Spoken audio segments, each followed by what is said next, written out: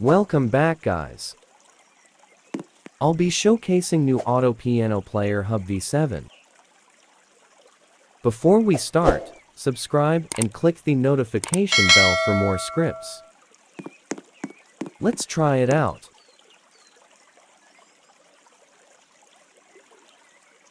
It have key system now to get the key. Just click the get key. And it will auto copy the link after that. Paste the link on Chrome or Google.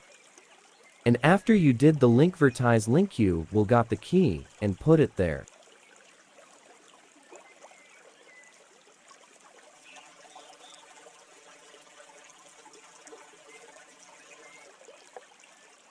The script is in the description box.